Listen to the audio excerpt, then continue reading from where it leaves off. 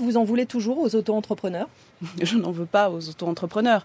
Il y avait, euh, dans, euh, dès notre prise de, de fonction, un certain nombre euh, d'inquiétudes qui s'étaient exprimées avec des auto-entrepreneurs qui réalisent des fois peu ou pas de chiffre d'affaires.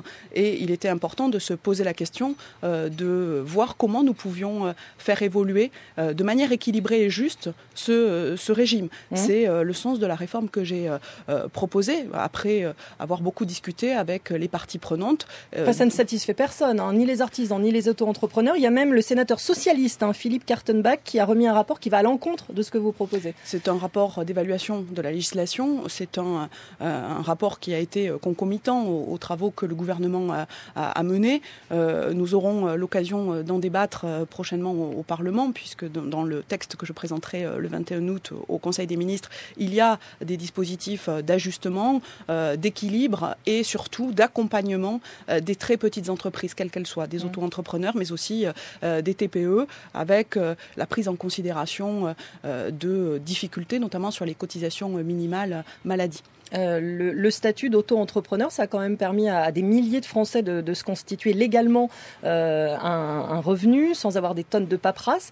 Vous préférez quoi Qu'ils retournent à Pôle emploi, qu'ils travaillent au noir? C'est caricatural de dire ça.